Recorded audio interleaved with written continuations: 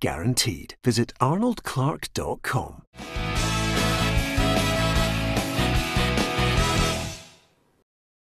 Welcome to Peter and Roughie's football show, sponsored by Arnold Clark. It's Monday, it's the 16th of November. Great to have your company.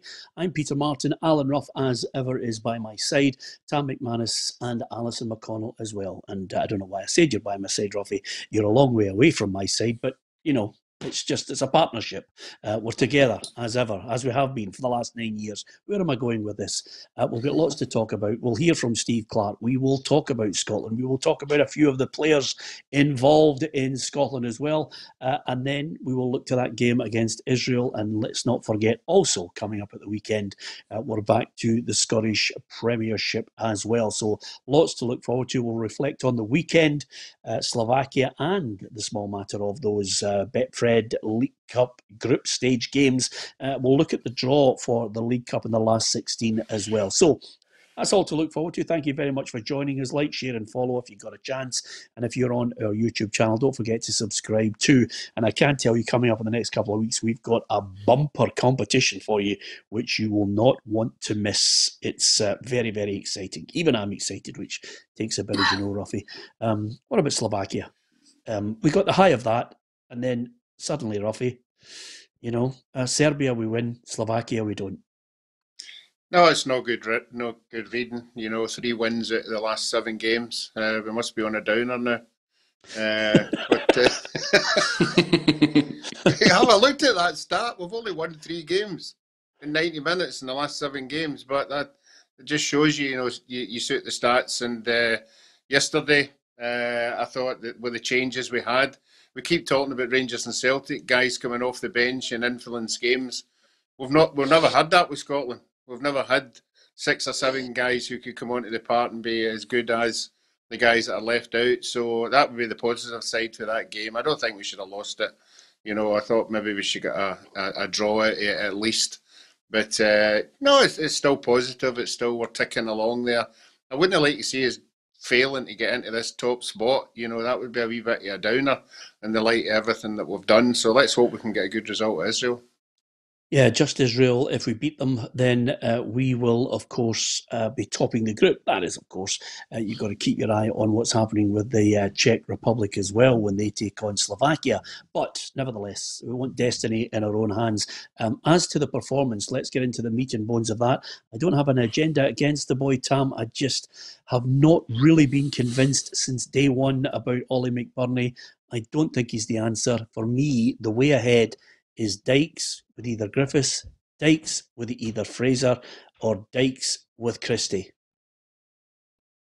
Yeah, I, am listening. Uh, he's getting he's getting a lot of stick, the boy Ollie McBurnie. Uh, let's be honest, he's getting his pelters, uh, particularly on social media and, and off commentators and, and, media. But listen, I don't think he's a bad player. I think he's really struggling in front of goal. I think he needs a goal. Um, you know, I was a striker myself. Listen, I know the pressures when you're going through a drought his droughts lasted uh, a couple of months. Mine's lasted about ten years. Uh, so listen, I understand the goal shrink. He needs a goal for Scotland. He's desperate. He's trying. He's, I think he's trying his hardest. He's maybe trying too hard to get that goal. He had three decent chances yesterday. Um, you know, I think the one that, he, that was slipped through him was the best one, where he should have hit it first time. I think a confident striker, you know, a few goals under his belt would have hit that first time. But he's tried to take a touch to tee himself up and uh, and the chance was gone. But uh, listen, I think he's a decent player. I think some of the criticisms over the top. I, I, get people entitled to their opinion, but if you're in a Scotland jersey, for me, you've got to get behind people. You've got to support them, um, no matter what club they play for, what club they support. Um, I think there's another thing. It's a wee bit of political with, with Ollie McBurnie, and for me, he's he's got to be supported. I don't think he's our number one striker, Peter, but as a backup, then I think he's he's adequate. Well, I disagree with you 100%, Tam. I mean, uh, yes, we want to be patriotic. Yes, everybody wants Scotland to do well. But you know, giving an opinion, uh, you know, nobody's doubting the boy's a good player because Sheffield United decided they want to spend 20 million on him. Um, if there are people out there who've been, um, let's say, the, the, criticism hasn't been constructive, then that's fine. I don't know who they are. Um, I certainly haven't read it. I think, as an observation, Alison, on Ollie McBurnie, what I'm saying is at international level, he doesn't look as if he's got that. I've looked at his stats. I mean, he's you know when he got the move to Sheffield United, it was off the back of scoring something like 24 goals in the lower league. Um, And, you know, his record of scoring for Sheffield United is not that great. Um, he works his socks off. He scored one of the penalties. I get where Tam's coming from, from from the point of view of let's all collectively back people. But our job is to give an opinion on an individual. I think he looks out his depth. If I'm being very honest, I think uh, I think he looks bereft of confidence, and, and part of me wonders if he did get that first goal and, and he had a wee bit more self belief, would he look more at home? Uh, I'm not sure, but I, I, would tend to agree with Peter. I, I just think uh, I think it looks like a level too much just now. I understand why he's in the squad. Uh, I don't think Scotland have a, a, huge amount of options, but for me, Dykes has been the, the absolute find of, of the last few months. When when he committed himself to Scotland over Australia, I think it was a, a huge boost. And the question now going forward is, is really who partners him. I think once Fraser's fit again and back in the squad, I think that's what you'll see is is, uh, the first choice pairing. And I think McBurnie might just gradually drift out of the squad. I might be wrong, uh, but I would be interested to see what a goal would do for him if we would see. Alisson a needs player. a goal. I think you see a totally different player if he gets a goal. Honestly, I, I think he's it'll be the monkey off his back. Yeah, but, but but to get a goal, Tam, you get one goal. I know where you're coming from. I, I understand strikers and your mentality. You get a goal, the confidence is rippling through you. But this is this is a guy whose stats don't suggest that if he gets one goal, he's going to go on a run and regularly score. Tam, you know, at, at this level. Peter, I don't think level, he's. A, I don't think. I don't think he's a prolific goal scorer. I don't think he is. I agree with you, but you know, I think he, if he gets a goal, you'll see a far better player, more confident player. It looks as if he's a, he's getting zero confidence whatsoever. No, I, I, I wouldn't have fancied him to score an open goal yesterday. He's just he's one of the, in one of those runs where people are on his back. You know, I've been there myself, and you need a goal, and he's not got one, and he's got to get more criticism. I, I, I get that, but I don't think he's. I think some of the criticism I've read on social media has been miles over the top. You know, if you're ah, entitled ah, no. to say you don't think he's good enough, but no, Tom, some of the stuff Tom. has been yeah. outrageous. But Tam, with all due respect, some of the people on social media who post things, no, I, I know, I get them, that. I, I, wouldn't give them the light of day. If you're a pundit, if you're an ex-footballer, if you're a, if you're a journalist, if you're a if you're a football fan observing it, Roughie, I, I, I don't think there's any healthy situation of even giving any credence to some people talking about, okay, got himself in a, a silly situation in the tunnel one day, but at the end of the day, the boy turns up and gives us all for Scotland. But I'm just talking about levels on him. I'm just looking at him as a footballer and I'm thinking, it, it's not quite for me clicking at the moment. And I don't think a goal will do it, Roughie. Mm-hmm. No, and the evidence of what we saw, you know, you can't, for Scotland, I mean, you, you can't really defend him. You know, yeah, he'll put in, you know, 100%. You would expect that as soon as you pull on that jersey. But uh, if we're looking for somebody to score goals and score a, a few goals, you know, it, he doesn't look as if he's there just now. I would say I would say he's fourth choice just now. I, I, would say if Griffiths was fit and Fraser was there and Dykes is there, I, think the manager would see him as fourth choice, uh, which means he'd be on the bench coming off. I don't think he's a, at this moment, he's not proved that he's a given to start the games. So I, I, I can see where Tam's coming for. You know, if you're a striker, you do. There's tons of strikers have had bad spells, you know, and then all of a sudden they score a lot of goals. But we ha- we haven't seen that even at club level, you know, he's no prolific. You know, he, will score the odd goal here and there. And maybe that's yeah. what kind of player he is. Yeah. To be fair, I thought it showed. Um, I thought it showed a, a lot of confidence and a lot of bottle for him on Thursday night to take one of the penalties because he, he's not deaf to the criticism. I think he, he's well aware uh, of what's going on round about him and, and the conversation that's going on round about him about whether or not he, he belongs in that company. I think had he missed that penalty on Thursday night, I think uh, there would have been a tsunami of criticism coming his way more so than for anyone else. So I, I do admire the fact that he had a bit of belief to, to step up and take it in, in a hugely pressurised situation. I'm glad you said that, Ali, because believe me, yep. when he was walking up, I was actually I was looking at the boy and I said, "Please, please let this boy score," because I wish him no ill. I'm just giving you an observation, my opinion on what I think at this level. You know whether he's got it or not, but I just I genuinely.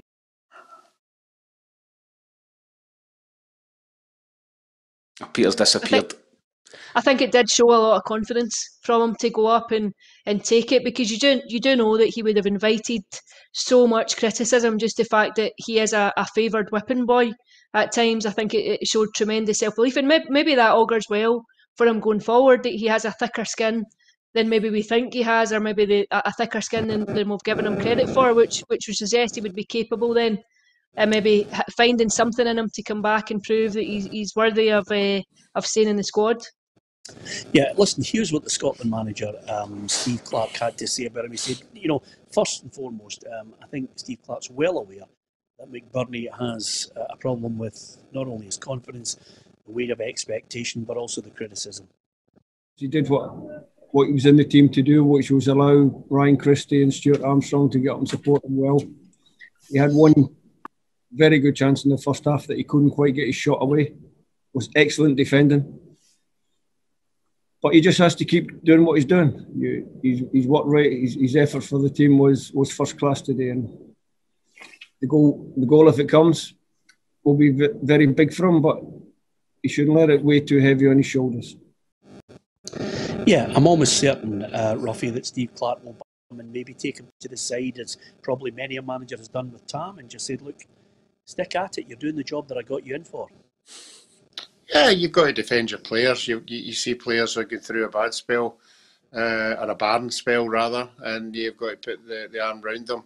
Uh, and, and try and get them to believe that uh, a, a, goal will come. Uh, it'll be interesting to see whether he keeps them in the side for the Israel game with that belief that he has got a goal in him. But as Tam says, the longer it goes, the more doubters there'll be. So the boy's the only one that can sort it out. He, if he scores a goal, then everybody gets off his back. Peter, yeah, of course, yeah. I think you know Roughie said that he's fourth choice at the minute. I think he's second choice at the at, in that lone striker role. I don't think there's go- we're not going to play two up front in many games in, in, international level. So I think if you're playing the way we play, you know, with, with one off, one up, one off, if anything happens to Dykes, McBurnie's the next guy in, and because McGriffiths can't play the lone, striker role, and Fraser can't play the lone striker role. Maybe but, Kevin what, Nisbet. But what about but, what about Tam if Dykes is there? No, if Dykes is there, he's not going to play. He's going to be he's going to be back up to Dykes. That's what I mean. And you've got you've got the two big men up there, and you've got the two two off know, would be Fraser and Griffiths to go and play alongside them. Um, but, I don't but think, at, I think he's still a major part time, as, as a target. At this moment, at this moment in time, if Dykes is playing, I'd more confidence in Griffiths and Fraser scoring before him. Oh, absolutely. Yeah. I don't think he's going to play up front ever with Dykes, but I'm just saying if he's if anything happens to Dykes, God forbid, then he's your next man in to play as that as that target man. There's no there's nobody else. Funny you should say that, by the way. I mean, I, I, I don't know. I actually, uh, taking on what Ali said, I think he'll eventually drop down to third and fourth choice. Um, and when you mentioned there, uh, Tam, that we might not play two strikers regularly at international level, certainly not against the bigger sides, but, uh, you know, we've got Israel coming up. Um, so it's Dykes and EN other. Um, and then the two Hampden games, I think you'd be looking. I think you'd be looking at the European Championships, Tam, and saying to yourself, "Definitely going to play two at home um, when you come up against Croatia and the Czech Republic, surely at Hampden." Mm, it's up to Stevie Clarke. I don't think he'll, he'll move from what he's doing now. I think he'll play either. Dykes is obviously he's, he's, he's number one striker. He's going to play as a number one up there, and he'll play either Fraser off him or, or Christie off him. But I think, as I said to you, I think if anything happens to Dykes, I think I'm looking at as a lone striker, as playing as that target man. I don't think we've anybody else in that kind of stature apart from Ollie McBurnie, who can hold the ball up and be that target.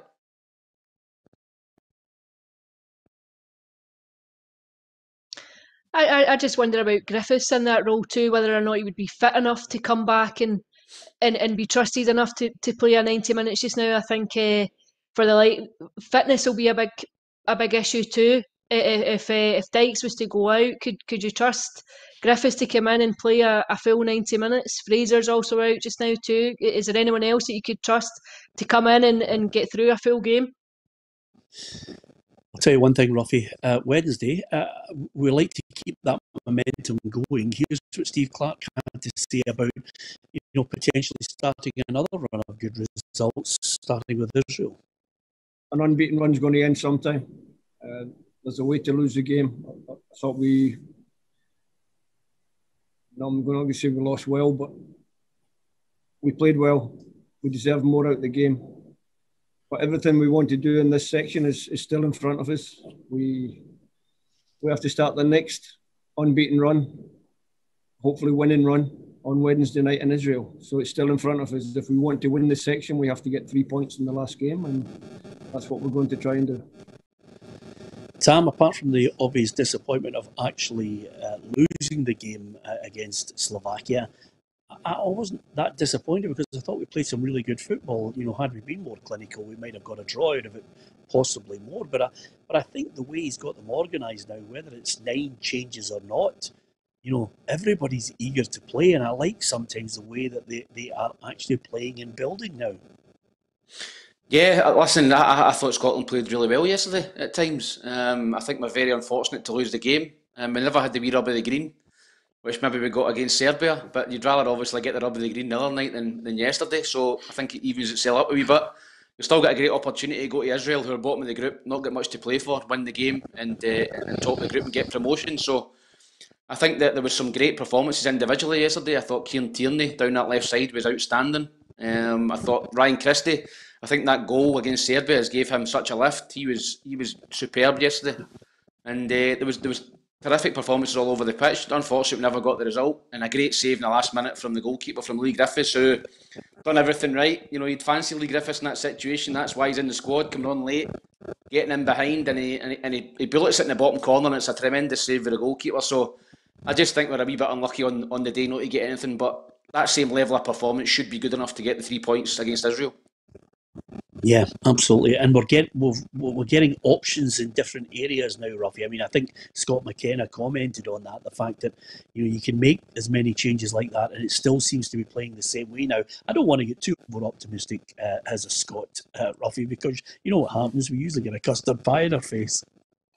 Yeah, but I, I'm pleased with the the reserve we've got in midfield. You know, if Armstrong's a reserve, if McLean's a reserve, you know, they, they've come on and they've shown that they have the quality to start the game. So, as I said at the beginning of the show, magnificent when you've got that uh, many people on the bench. And I know there's quite a lot of people on the bench nowadays, so you've got a big pick uh, to choose from. But no, I, I don't think anybody's let the, the team down at all in the Serbia game or the game there uh, the other day. There, you know, I'd like to see us going out and beating Israel now, let's not forget, we haven't beaten them. You know, we've had two draws, nothing each and one each. You know, so let's go out and beat a team, you know, and, and then get us back on the rails. Yeah, absolutely. I don't know if you're aware of this, Ali, but now uh, on a regular basis, Tam just continually throws in Kevin Nisbet. Um, I, I, I'm loath to suggest an affair, but uh, nevertheless, he's he's, cer- he's certainly up there as his age. Hey, I showed Charlie Adam last night. Hey. I just wonder he's if Tam's on a. He's not. He's not for budging. I just wonder if Tam's on a commission, if there's some kind of percentage going on there that if he makes it into the international squad, that he's getting some kind of uh, he's getting some kind of cut here of a fee. Uh, you, you would have to say, if, uh, you'd have to say if Lawrence Shankland's in the Scotland squad because of the goals he scored for Dundee United, then you've got to have the same food of thought, you know, with Nisbet. You know, if he continues to score, uh, maybe a friendly game or something, you, you bring him in because the two of them are different players, right enough. You know, one's more of a target man, but uh, Lawrence Shankland hasn't been scoring goals for a wee while, so you know maybe maybe it is time to give somebody else a chance. I think Nisbet's yeah, better than Shankland, uh, Peter. You do? Yes. And Charlie Adam last night, you know, you seen the text last night. Charlie Adam was raving about Kevin Nisbet, and sometimes, you know, I can see it from the stand. You know, Charlie Adams on the pitch last night alongside Kevin Nisbet, and he texted me last night and said he was outstanding. Yeah, I mean that's the good thing about it. You know, we want many options. We want uh, more than a few options to come through. I mean, I'm listening to a lot of people on the feed suggesting maybe even uh, Tony Watt. Um, would love people to just make a run now. And and as we're well aware, Ali, listen, the incentive is for players now, week in, week out. I mean, for us as journalists to go to games now and know that there's there's meaningful football there, and an incentive for the players is go out there, play good football regularly, and you never know, you might force your way into the manager's plans for us as an industry, I don't think you can underestimate what getting to the next summer's European Championships does. It gives if it gives us a lift, then what does it do for the players? If we can feel the positive benefits of it, then you can only imagine what that does in their dressing room. And I think there's a number of players who who'll very quietly be saying to themselves, right, over the next six, seven, eight months, I'm going to get myself in that squad. Lewis Ferguson, I think, must be be chapping at the door. I think you, you look at the way he's performed for Aberdeen over the last 14 or 15 months, you think he, he must fancy that if he sustains that form, he might find himself in the squad. Tony Watt's another one. I think Nisbet, if he continues to score goals, you make yourself impossible to overlook. But I, I just think that's the glory of being in a competition like this, is that it just gives everything an added incentive. That there's a drive and a push towards a squad, and, and and there'll be a number of players thinking, I can make that, I can get myself in there, or I can make myself so difficult to ignore that I've got to get a chance in the build up somewhere. Yeah, absolutely. Here's how the uh, results looked uh, for all the home nations over the weekend, um, as well as uh, Slovakia, Scotland, that 1 0 defeat. Uh, there was, of course, uh, a game between Wales and the Republic of Ireland. Wales just edging it by a goal to nil. Uh, Belgium 2, England nil, and then Austria 2, Northern Ireland 1. Um, and all the other games, I'll tell you, you know, I don't know what it is, um, but we we always seem to get, Roughie, a special player that you look at for another nation that you wish was Scottish. And one one of them I watched at the weekend, I thought, oh, I'd love I'd love for him to have been Scottish. And I'm talking about Jack Grealish. Boy, he he just looks every inch the top draw, Roughie. Yeah, and he's just been unleashed. Uh, he's had to wait his time to get in that team. Uh, and we've all seen what he's done at club level, and, and, and he did look absolutely superb. I was listening to Harry Kane talking about him. Uh, again, he's playing off a Harry Kane, but you can see the worth that he's got, and he's got fantastic ability. And you're right, you know that that's what we've got to look. Or maybe not got to look forward to next June, because he's going to establish himself in that team as as as another, you know, a few other younger player England England players. Although they get beat last night, I don't think the the scoreline flattered Belgium a wee bit. But uh, I, I, think we're we've got a game in our hands, particularly down in Wembley. Absolutely, and I'll tell you right now, if anybody's thinking of going down south, eh, if anybody's going down south, Tom, they better start saving their money because I think the hotels are start they're starting to hike them up, and I can tell you that from a personal point of view. As I was looking at the team list, and I'm thinking, it's expensive for rooms, isn't it? Is, is that you cutting the numbers already? Is that you chopping this down? no, no, I'm not. I'm not. I'm not suggesting that for a minute. I'll sleep in the flare. I don't even need a room. Don't worry. Listen, you're at the bottom of Roughie's bed. I'm just telling you that's what's happening. I'm going round the hotels alley, and I'll tell you, you know what it's like with the journos. They'll be looking and thinking, "How the heck?" And we're going to get further and further out. We'll need two trains to get to Wembley at this rate because they are expensive. Oh, I think we can all anticipate that. As soon as as soon as you knew that qualification was secured, you just know that that prices are going through the roof. Also, the fact that given what we're coming out of it and the fact of how difficult it's been for the hospitality industry, I think there'll be people looking to uh, recoup some of their losses somewhere along the line. Yeah, absolutely. And uh, you know what it's like. I love Tam's attitude to it, Roughie, um, because uh, if the East Kilbride troop are having, uh, you know, a journey down to Wembley and they're on that bus, it'll be it'll be one single room with thirty two people in the bed. it's it's yeah. like going to Blackpool on holiday, Roughie. Yeah, I think that's what happened uh, in Seville. I know for a fact that's what happened in Seville. I thought most of the hotels didn't understand why they were three deep uh, uh, at a particular night uh, on the game. You know, I think people were just crashing out, and it was the same in Manchester as well. You know, there was all the hotels that were over full, and uh, but it's great. I mean, Scottish supporters will find a way. You know, they'll be they'll be saving as we speak. You know, to get down there, and they'll probably be down there three or four days before before the game.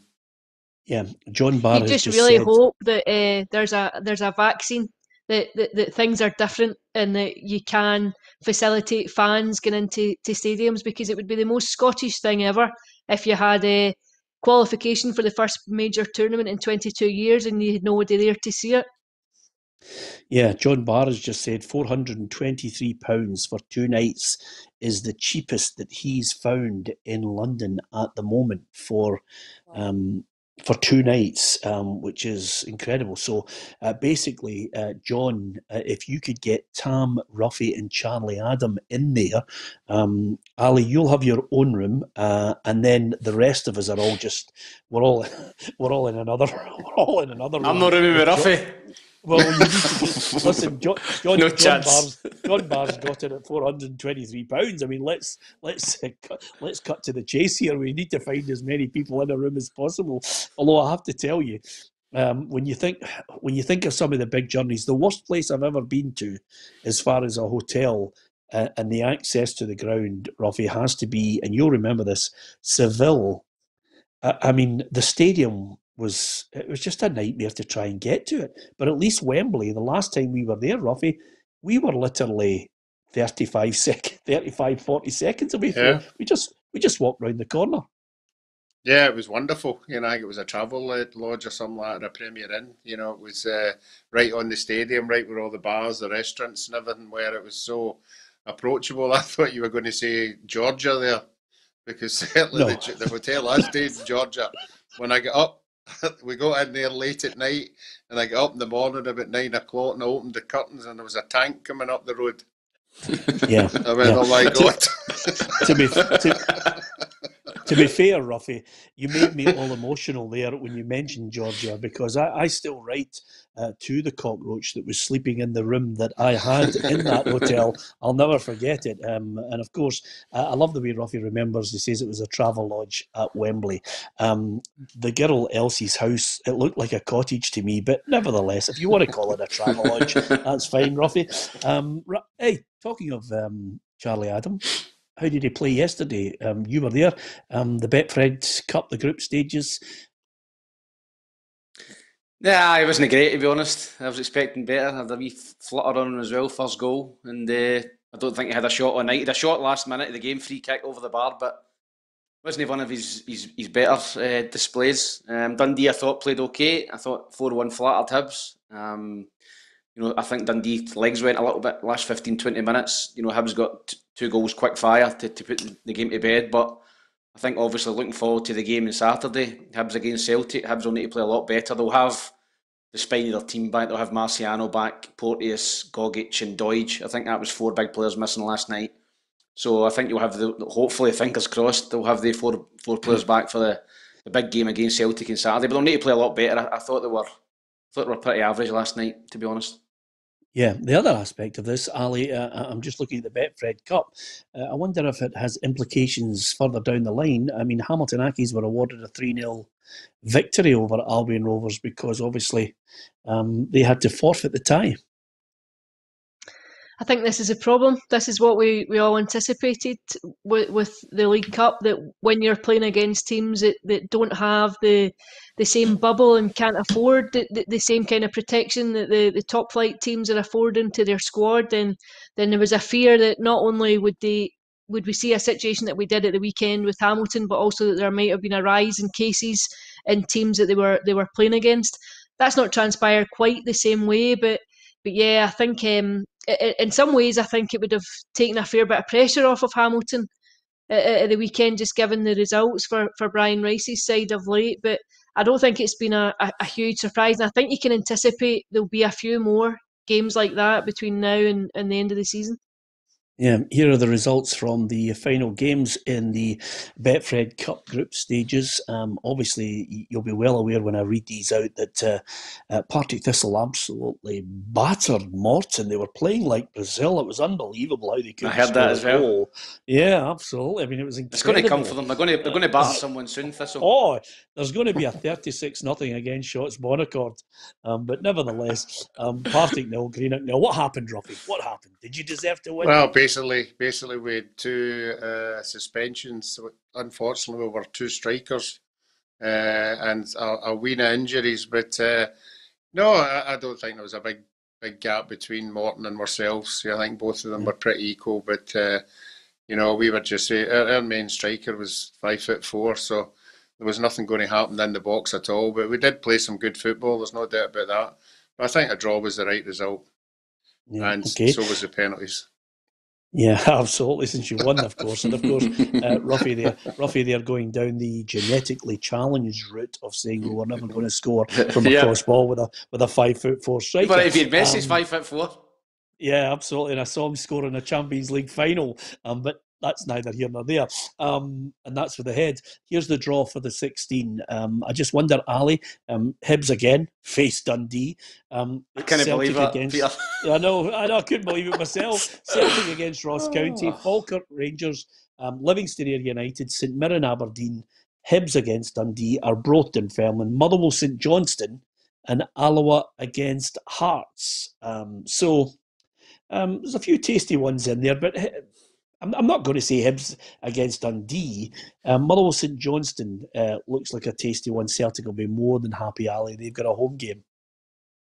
I just feel for uh, for some of the smaller clubs. Like you, you look at Falkirk drawing Rangers, and you think in normal circumstances, you're, they, they would be rubbing their hands and thinking, "This is huge for us going into the, the winter months and in between now and the end of the season for the financial boost it would it would have given them." And I think it's difficult to overlook that at, at, this point in time. But but yeah, to go back to your point, I'm sure Celtic will be relieved with a home tie. Least of all, just because you're not making that journey up to Dingwall uh, which can be fairly arduous, particularly when the games come and you're in, in the midst of a fairly hectic domestic and European campaign.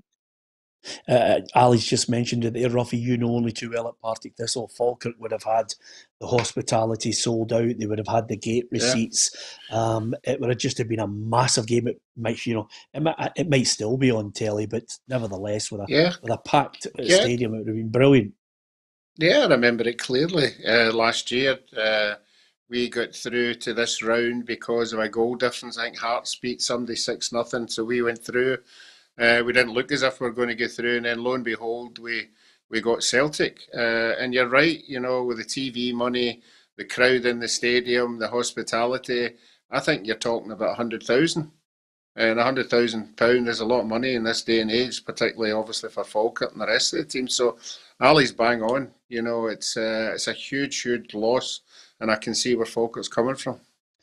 Yeah, um, Tam uh, alluded to it earlier. It's going to be great uh, to watch this game at the weekend, Tam, to see if Hibs can play um, poorly and win against Celtic. I know you'll be looking forward to it. Celtic were a wee bit worried, Tam, that they might lose Chris Ajer and Mo Elyounoussi because obviously one of the Norway uh, players had um, returned a positive COVID test. But I think the general feeling from them is both will be allowed to play. They've had three negative tests already.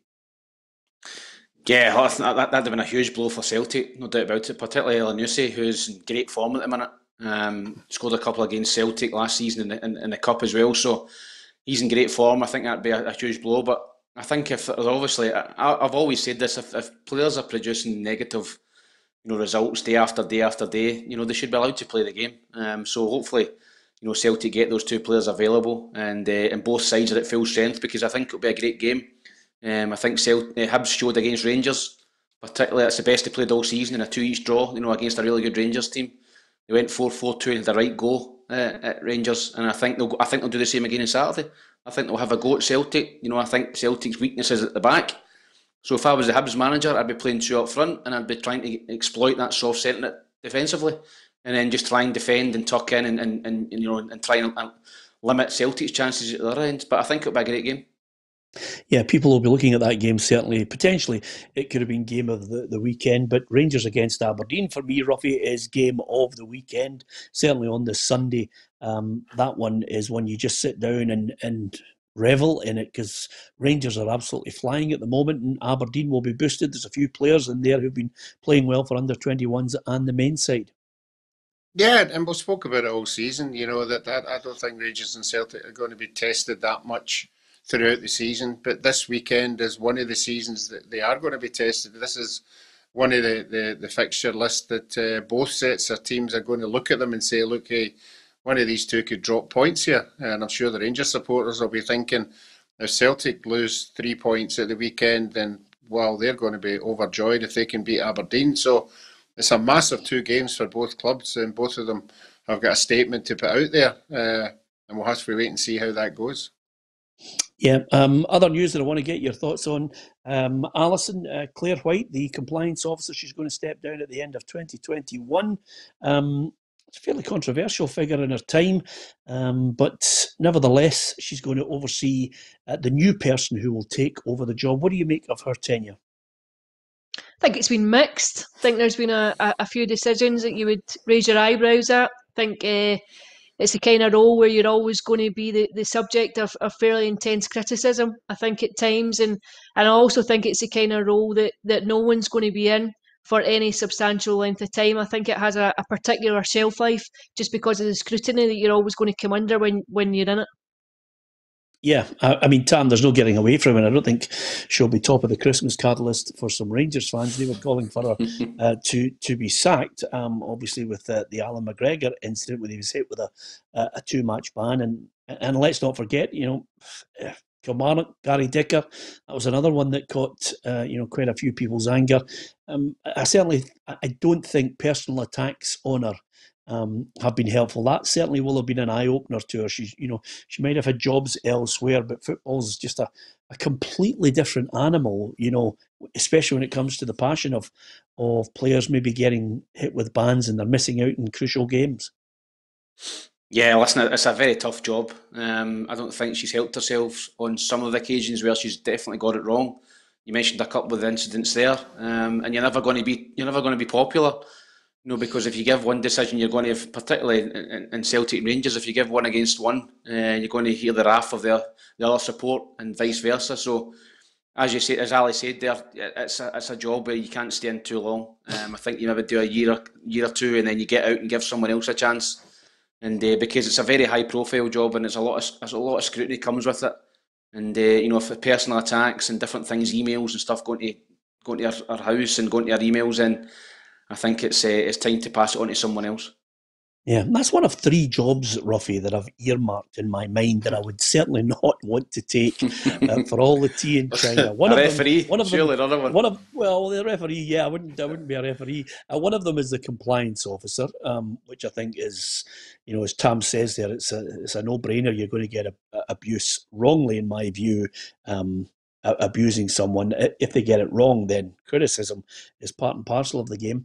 Um, and then the other one I wouldn't take, I wouldn't take the SPFL job that Iain Blair had, which is the fixtures, because he gets it in the neck. And I certainly wouldn't take the chief executive's job of the SFA because because it's just I think I think in the end everybody actually at some point or another just joins in with you know this person whoever it is is getting it wrong yeah, you're bang on, but I, I wouldn't be too hard on uh, Ian Maxwell at the SFA because sometimes we might have to turn to somebody for tickets for Scotland games. yeah, I, knew, I think he's doing a great job. Oh, I, knew, I, knew, I knew there was an I knew there was an angle there from the big man. I knew that there had to be an angle on it. Yeah, uh, listen, uh, when you actually, and this is the great thing about it, and hopefully we can get fans back to the games and, and get to London regardless of the prices. But when you get to a situation, Tam, where your country qualifies for a major tournament, that's when the job becomes that little bit easier and, and people down the ladder uh, start mm. to you know feel as if they can concentrate on their job without you know fear of you know somebody coming and saying well how many how many players have come from grassroots how many players are being developed yeah. you know ha- had we lost at the weekend there would we have been on to you know had we lost on thursday would we be on to think tank 3 and analysing yeah. where our games what going? serbia doing what are serbia yeah. doing we need to copy them well, ex- no you're right exactly. you're right you're bang on peter i think it, it takes the pressure off everyone you know, in terms of you look at people in the SFA and working in there, you know, hospitality, selling tickets, selling tables, you know, it goes through the roof. Can you imagine trying to sell tickets when you hadn't qualified? Try to sell hospitality, so it makes all business development, makes all their jobs easier. You know, and selling tickets not a problem. They can, listen, they can sell Hampden three or four times over now. You know, so yeah. Uh, it's it's a huge result going down the whole scale of the SFA from top to bottom. It helps everyone out, particularly coaches as well You know, my coach at the performance school, and no doubt if we didn't qualify, there've been questions asked on that. How many players have produced and blah blah blah. So um, I think we're, we were all delighted when that uh, we won that penalty shootout.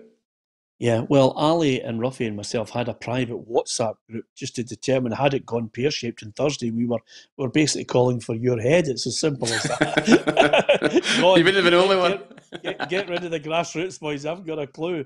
Uh, although I have to say, and uh, and I'll get your thoughts on this, Ali, um, because I can remember this song when it came out first time around. But uh, I've heard that Baccara the two girls are actually going to re-record the song with the oh, Scotland hey. national team. With the oh, oh I can see it coming. Cash, oh, right back in it, uh, oh. they, they, they are more than willing to re-record the song with the Scotland squad if they want Funny to. that. I, oh, I, I, don't know about you, Ali, but I, I, would definitely, I would definitely do it. I mean, that would be fantastic, wouldn't it? I think it's there for you, isn't it? I think it, it's going to be the, the theme tune now all the way to, to you get there to, to the Euros. I think it might re- replace the, the national anthem if they could get away with it. Uh, but I just think it will be a, the adopted song of this summer. I think you even at the weekend I was at, at Livingston when they played their their um, League Cup tie against Airdrie, and every time they scored a goal, that that's a song that came over the tannoy. Now it's it's all you'll hear for the next nine or ten months. Yeah, royalties uh, are I rolling mean, in for a Baccara oh, girls. Well, well uh, and quite right too, and quite right too. The one thing about it, Rocky, if they do record it, I don't know about you, but I think you know the two girls should be there. The Scotland squad should be around them, much the same as you were, Roughie, in the top of the pop studio um, for um, "We Have a Dream" um, and and various other songs that you've been involved in. But if they have the Scotland squad, and then the two girls, and then right front and centre in front of the microphone should be Andrew Considine in a dress with the makeup and he starts the song. Wouldn't that be magnificent? yeah, it'd be fantastic. And obviously there'll be a players pool, so you'll be you'll be doing anything you want, you know, to get some money onto that pool. But no, it'd be great. I think we all I think we all know. I mean, my last memory of getting the whole place bouncing at Scotland games at Hampden was that song for the was it Fratellis? Uh, yes, and, and, it, yeah. actually the place is absolutely tremendous. You know, and this yeah. song could be the exact same, handled the right way. You know, it could have the whole support when the support gets in. Obviously, the whole place would be absolutely bouncing if uh, that was the tune that was going to get played. I don't know if you remember, Tam, but at half time in the Scotland England game in Euro 96, the Tartan Army just burst into uh, rocking all over the world. I mean, their half time performance against England in Euro 96 was. It was absolutely unbelievable. One of the best I've ever heard. They were singing everything. Yeah, but I, I was only 15 at that point. I was probably playing football, uh, so I, I didn't watch the game. But no, listen, Euro 96, you know, it's one of the first tournaments I really remember. It was a fantastic tournament, atmosphere wise. More glorious failure, unfortunately, for us, Holland scoring that late goal. But um, listen, I think if we can get, you know, I think that England have got a great chance. You know, Charlie spoke about it the other day. They get a lot of their games at, at Wembley. So if they can get a wee run together, they've got a great ch- chance uh, of obviously finishing second in the group behind us. Yeah, and, and I'll tell you, Stephen Smith, uh, that'll be right. Um, Stephen Stephen Smith has just said the song's a bit of fun. It would be great if we did it for charity. Uh, Stephen, I think you're absolutely right. But the one thing I know, Roughie, is the two girls, as Tam mentioned from Baccara, will be sitting there right now going, "Oh, yeah, dancer! Here come the royalties. This is magnificent." Um, uh, listen, uh, lots of uh, nice messages um, uh, with uh, songs that every other club adopts over the course of it. You know, you anything from Twist and Shout, you've got Roy Orbison, you've got Depeche Mode, anything that brings a bit of fun and every all the fans can get involved. Although, wouldn't it just be our luck as Scotland fans and people working in the game that if this pandemic continues and there's no fans at Wembley, I will be absolutely gutted. Uh, I just hope we can get ourselves a, a little shaft of optimism of uh, getting out of this and getting back to football where fans are in the grounds. Um, Roughie, um, a wee sad note, and I'm going to get your thoughts on it. Um, for me, um, you know that I, I, loved watching Liverpool, gone to see them on many occasions when I was younger. Um, Ray Clemence passed away at 72 years of age. For me, he was absolutely top drawer. He was a brilliant goalkeeper. The record that he has of medals uh, along the way with his three European Cups and two UEFA Cups as well. I, I just thought he was a fantastic goalkeeper at a time when England had two great goalkeepers.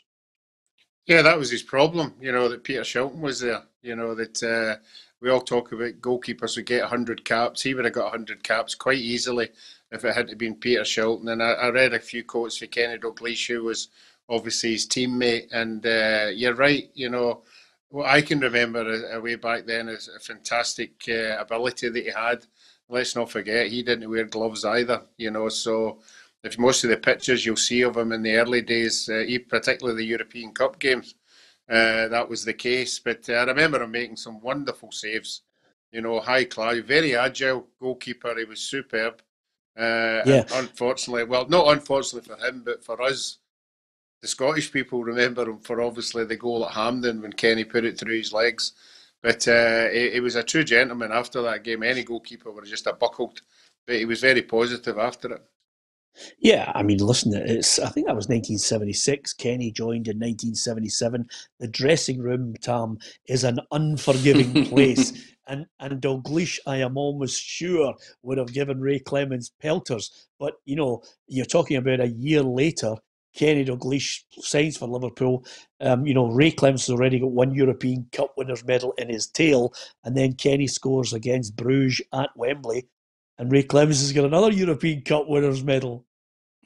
No, brilliant. Um, listen, as Ruffy said, that I was looking up last night. His record, his, his his medal haul is unbelievable. You know, he's obviously one of the best goalkeepers that has ever come out of Britain, and so you know, fair play to him. He's and Ken Dalglish would obviously give him a wee bit of stick when he come in the dressing room. You always do that when you play against people and they maybe sign with you.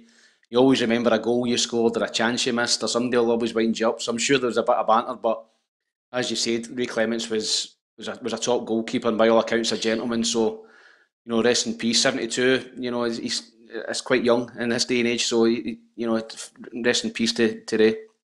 Yeah, do you know what my abiding mem- memory is, Alison? It's when he walked out at Anfield for the second half of the game as a Spurs goalkeeper, and he walked towards the Kop, and to a man, woman, and child, they were there and they were cheering him, and that gives you a, a measure of how highly he's regarded uh, by Liverpool fans. I I was trying to think today, Ali, of players that would have been accorded that sort of, you know, reception if you're going back in a different strip.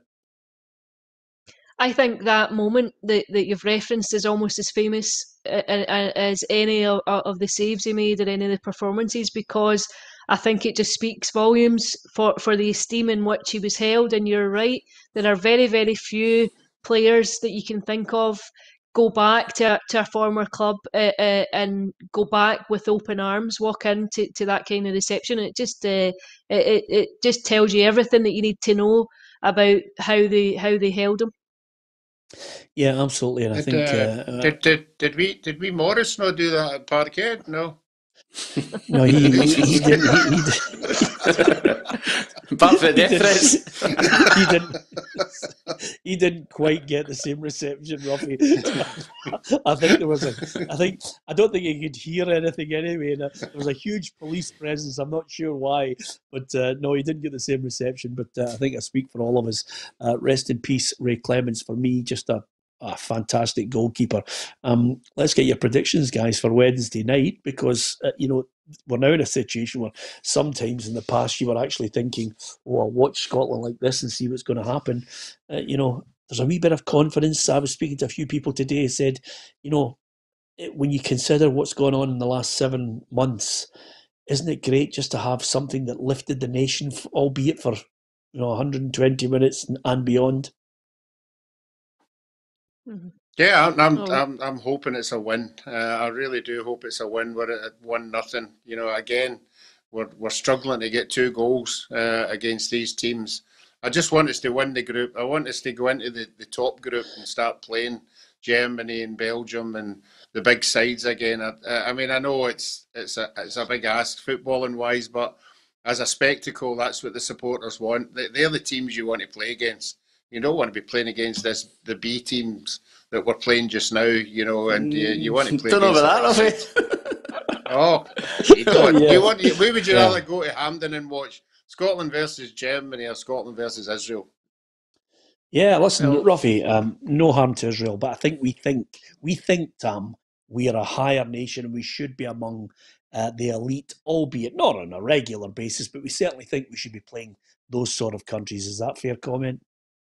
Yeah, as I think I think that's where we should be, you know, and we should be up there to compete with these nations. And listen, I think it'll be a difficult game against Israel. Obviously, the Israel, as we all know, have got a top goalkeeper um, who will be difficult to get two goals past, as Roughie mentioned. So I think if we can go there and get a 1 0, I think it would be a fantastic result.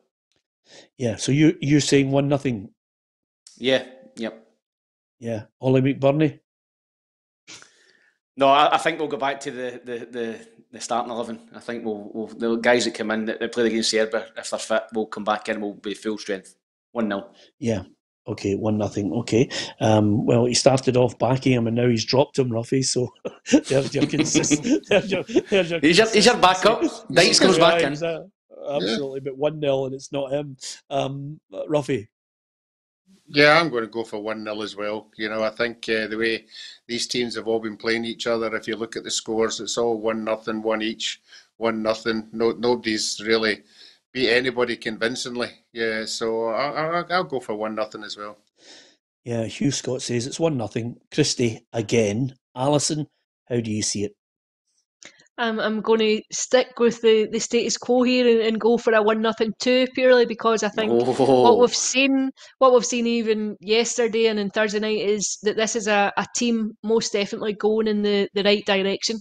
I think they'll get the win. And I think, too, this is a far more significant game than, than some people may realise, just when it comes to your aspirations for qualification further down the line for, for the World Cup. I think uh, it's much more significant. I know that there's so much euphoria about Thursday night in the qualification, but this game is still very, very important.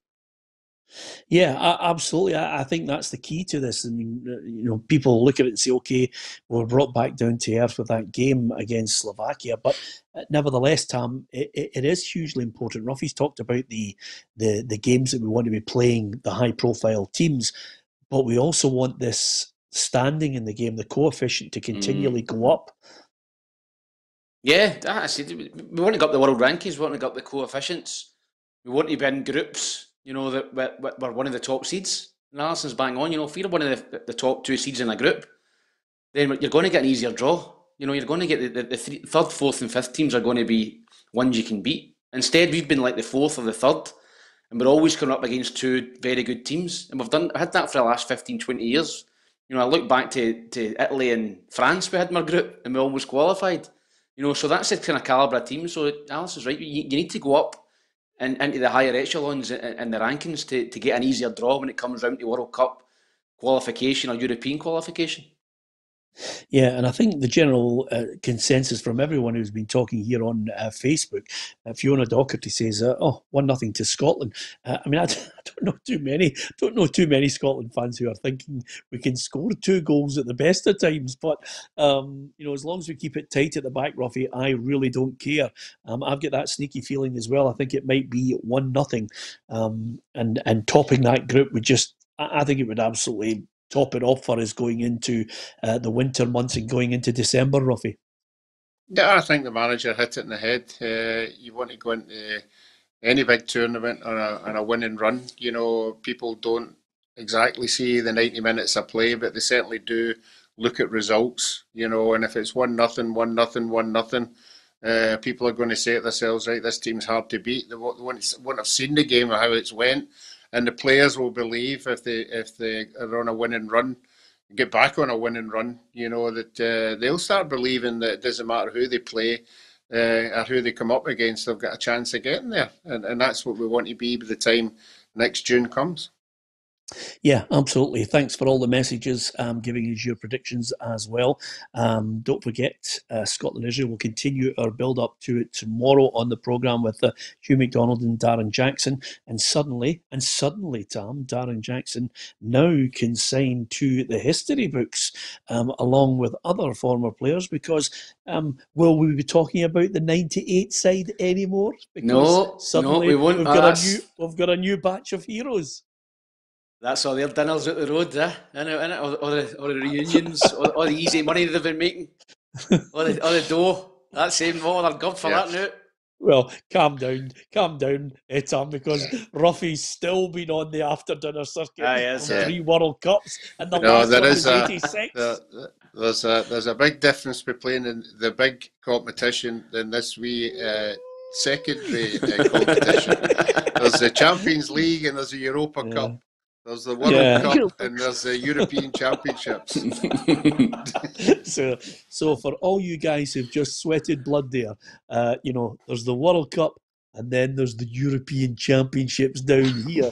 um, anyway, they're talking about snobbery in football, Ali. Who cares? As long as we're there, and as long as, as long as Ali, you and I get a shift out of it, um, we will be delighted. They don't care where the Euros are.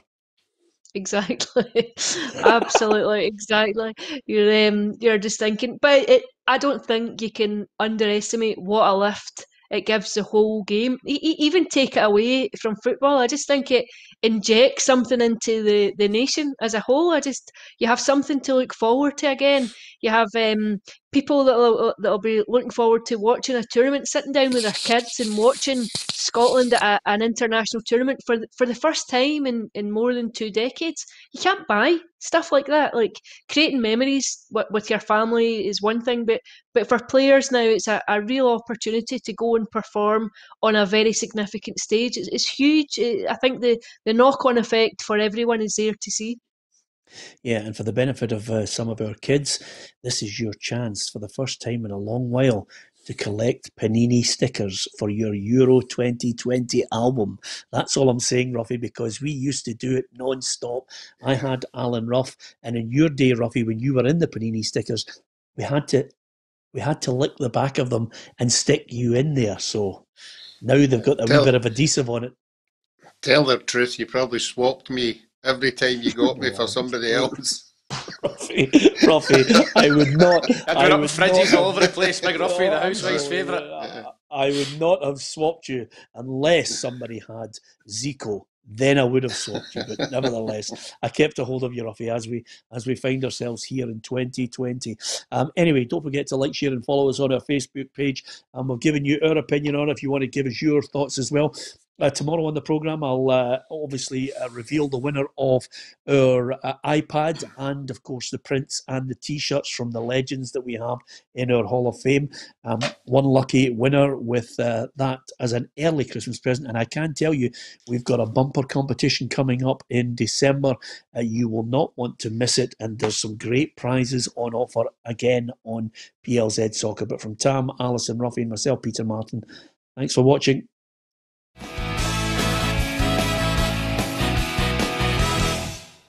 Expect the best used car deals guaranteed. Visit Arnold